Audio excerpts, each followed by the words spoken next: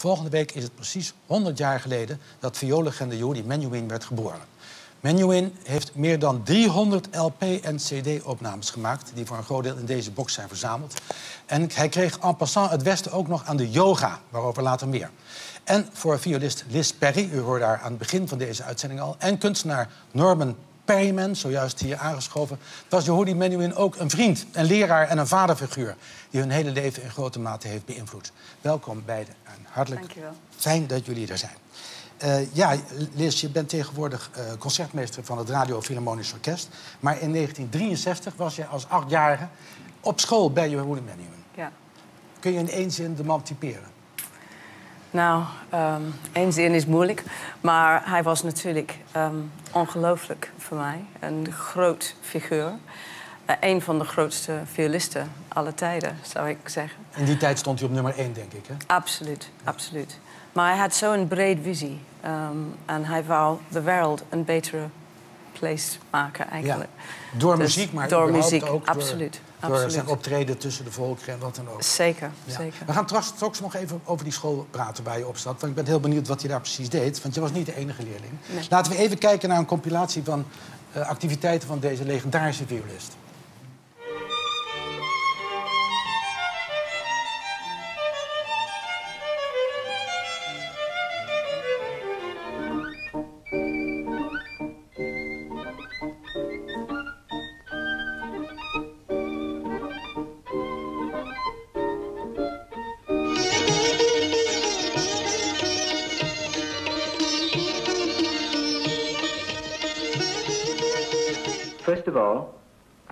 Give you two basic exercises, merely to strengthen the fingers.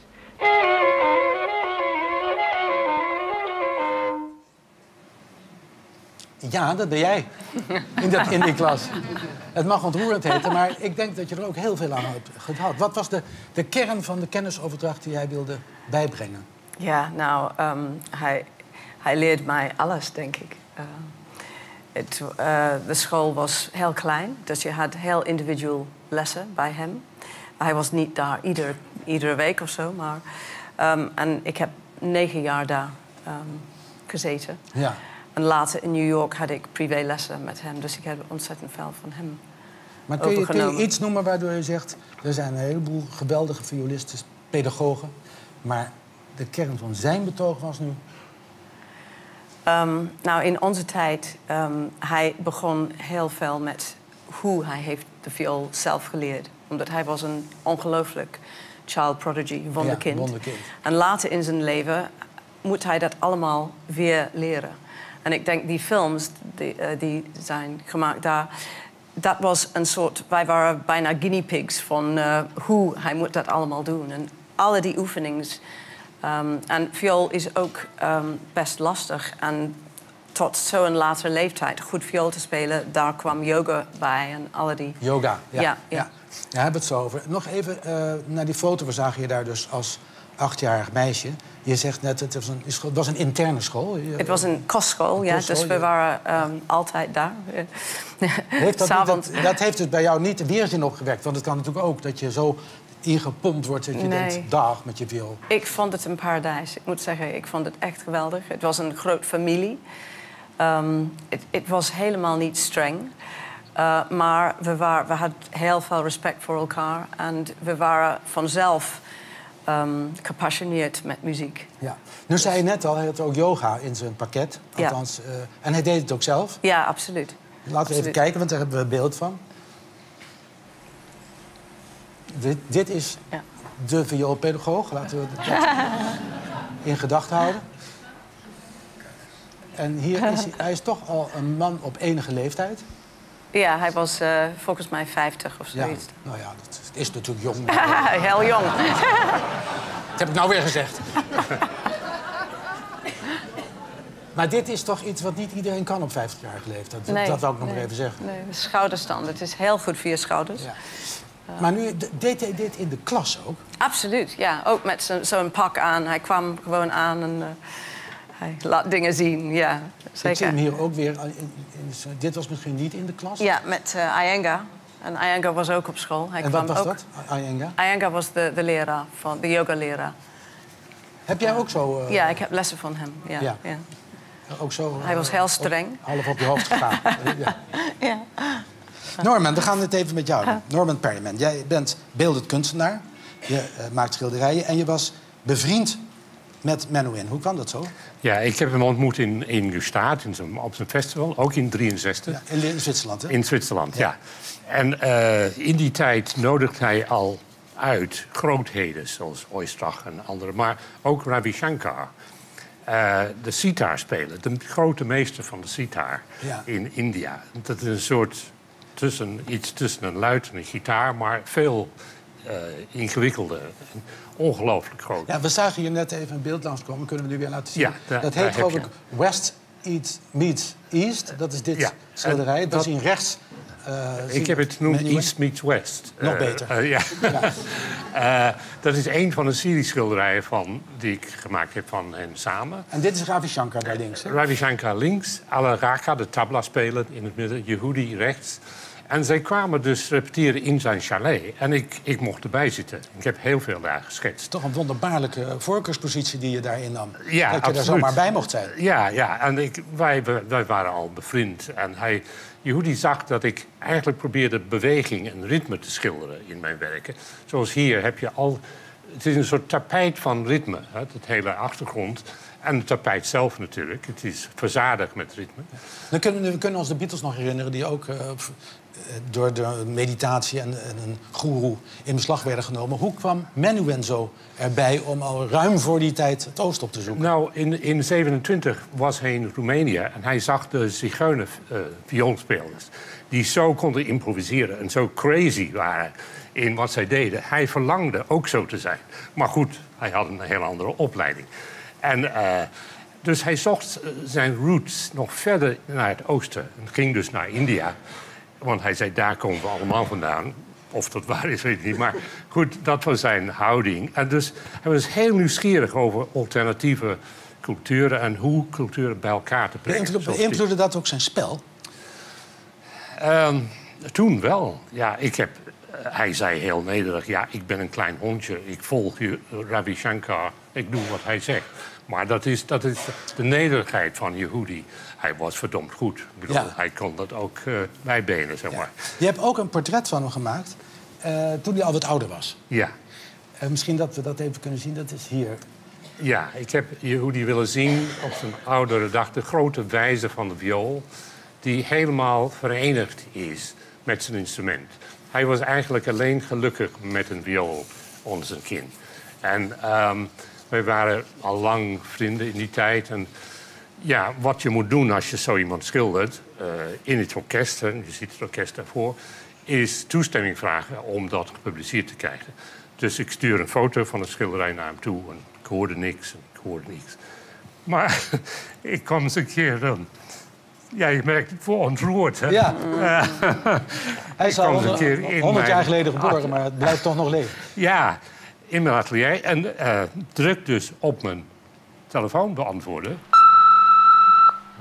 Norman, it's just Yehudi to tell you how I love the painting. I cannot wait to see the original, cannot wait to be with you uh, next week and uh, we can see them uh, after the concert before or during a rehearsal or whatever. I shall look forward enormously. I think it's one of the best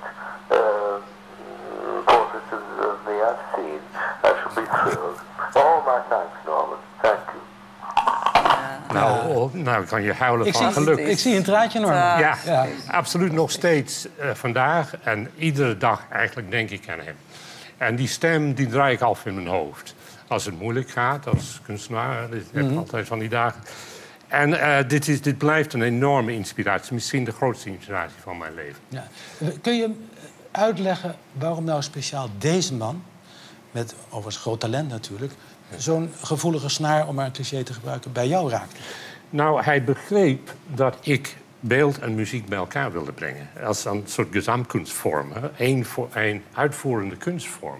Dat had hij nog nooit meegemaakt.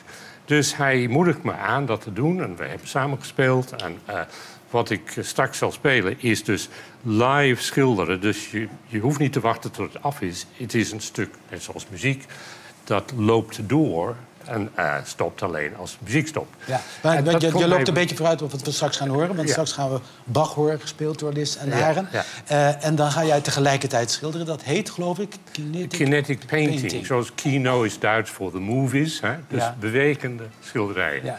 En dat heeft hij jou geleerd? Eh, of niet, nee, ik heb het zelf ontdekt, maar hij vond het fantastisch. En hij wist dat ik op, op papier ook schilderde. Maar dan geef je alleen een illusie van beweging en muziek. Als je dus over het projectiel gaat schilderen, dan blijft het bewegen. Dan zie je de... En dus hij begreep dat... hij- nou ja, wat hij zei, Perryman is eigenlijk een muzikus. Maar hij maakt muziek met zijn penseel. Dus ik, ik speel een strijkinstrument, zou je Ja, kunnen ja, zeggen. ja, ja. Dan gaan we straks controleren of dat klopt. Of deze pretentie kan waarmaken. Lis, even naar jou terug. Eh, hoeveel leerlingen waren er nou ook weer precies op die school?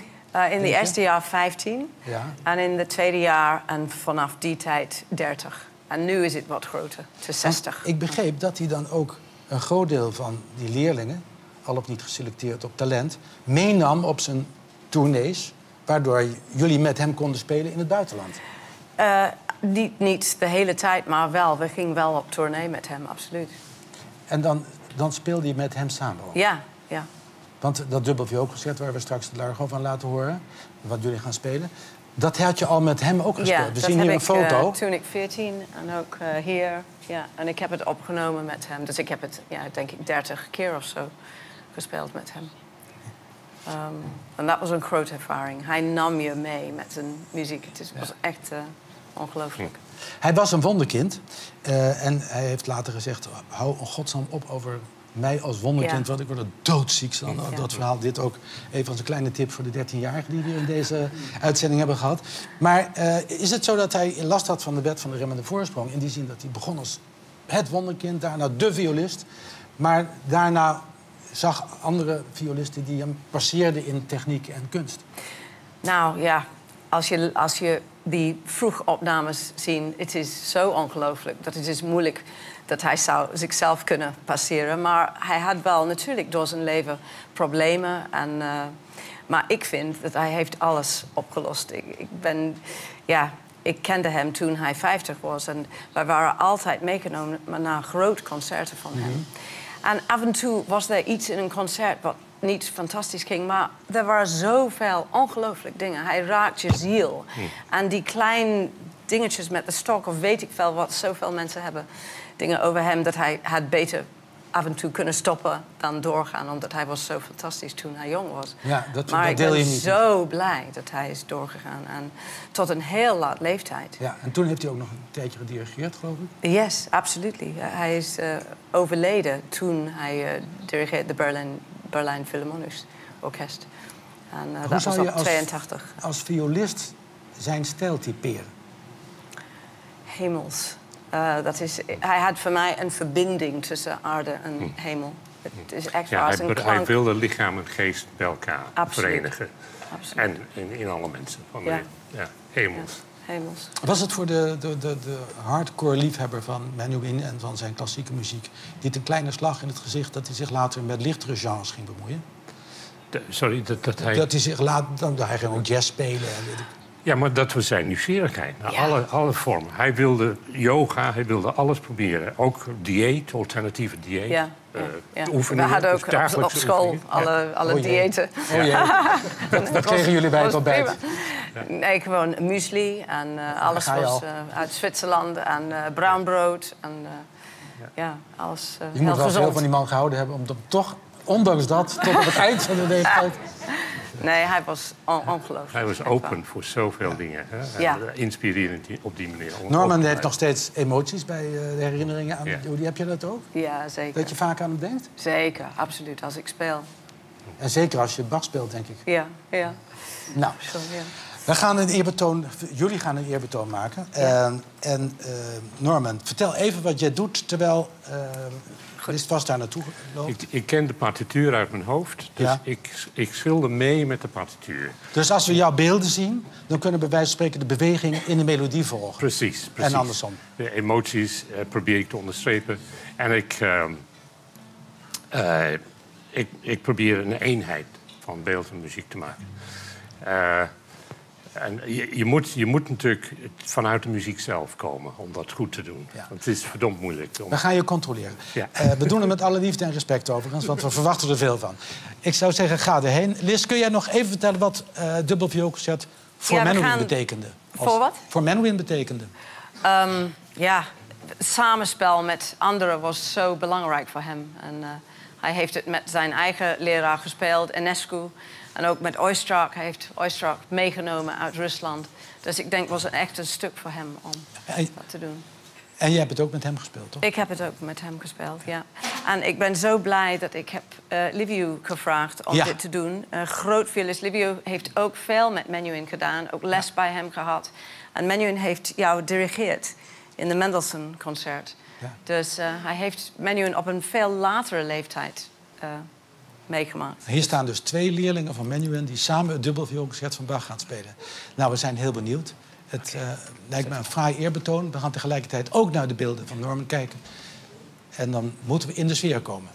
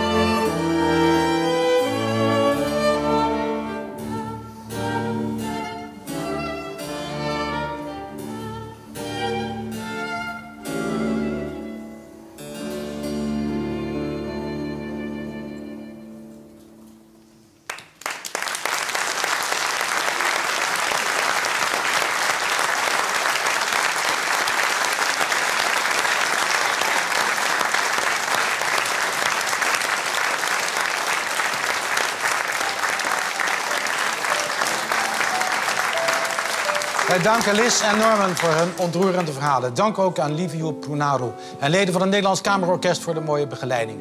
En voor iedereen die zich nu helemaal op Yehudi Menuhin wil storten... er verschijnt deze maand deze reusachtige box met al zijn werk. Volgende week in Podium Witteman zijn hier zangeres Barbara Hennigan... en pianist Rijnbert de Leeuw met muziek van Erik Satie. En ook is hier het Groot Omroepkoor... en we doorbreken een groot taboe in de muziekwereld. Mike, let op. Podiumangst. Oh ja, Tot dan. ken ik.